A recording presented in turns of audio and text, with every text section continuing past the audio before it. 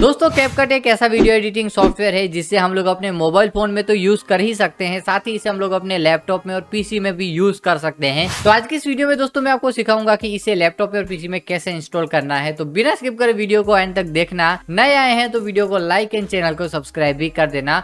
अब आपका ज़्यादा टाइम न लेते हुए चलिए आज की इस कमाल की वीडियो को शुरू करते हैं। तो चलिए गैस आपको बताते हैं कि कैपकट को कैसे पीसी में या फिर लैपटॉप में इंस्टॉल करेंगे। तो यहाँ पर गैस हम लोग सबसे पहले ओपन कर लेते हैं माइक्रोसॉफ्ट को माइक्रोसॉफ्ट स्टोर को यहाँ पर देखो ये आ गया। यहाँ पर दोस्तों, अगर आपकी आईडी नहीं है तो आपको लॉगिन कर लेना है, अपनी आईडी बायो इसमें क्रिएट कर लेनी है। तो यहाँ पर दोस्तों माइक्रोसॉफ्ट स्टोर ओपन हो चुका है। अब दोस्तों, हमें इंस्टॉल करना है अपने पीसी में कैप कट को।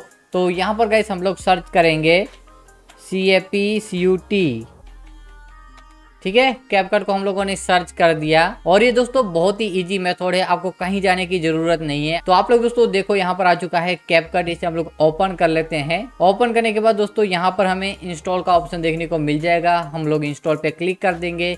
और बहुत ही दोस्तों, आसानी से हमारे पीसी में ये जो कैपकट एप्लीकेशन है सॉफ्टवेयर को पीसी के लिए सॉफ्टवेयर कहा जाता है। मोबाइल के लिए एप्लीकेशन कहा जाता है तो इसे इंस्टॉल कर सकते हैं। हम लोग अपने पीसी में आप लोग देखो, चार सौ की दोस्तों इसकी साइज़ है, एक सौ चार हो भी चुका है तो इसमें इंस्टॉलेशन में थोड़ा सा टाइम लगेगा तो मैं वीडियो को कर देता हूँ।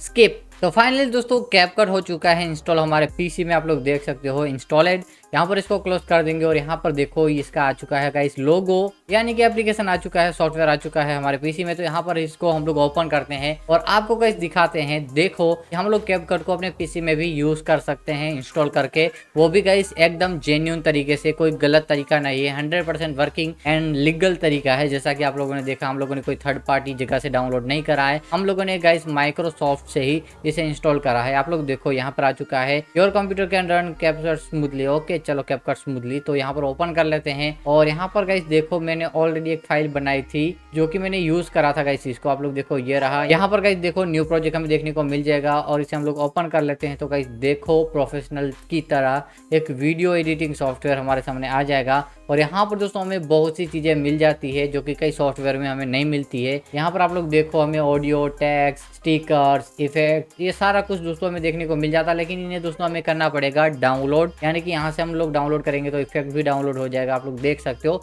तो बहुत ही कमाल का दोस्तों सॉफ्टवेयर है, इसे मैं यूज़ करूँगा आपसे, मुझे लग रहा है कि काफ़ी सही है। मैं तो इसे यूज़ करने वाला हूँ और इस वीडियो में दोस्तों आपको जो भी इफ़ेक्ट जो भी एडिटिंग देखने को मिलेगी, इससे समझ में आ जाएगा कि मैंने इसको यूज़ करा है। ठीक है? तो बस यही था दोस्तों, इस वीडियो में। वीडियो पसंद आई हो तो लाइक कर देना। नए आए तो चैनल को सब्सक्राइब कर देना। और हाँ दोस्तों, अगर आपको इसके ऊपर ट्यूटोरियल चाहिए कि इसे कैसे यूज़ करना है कमेंट करके बता देना। ठीक है?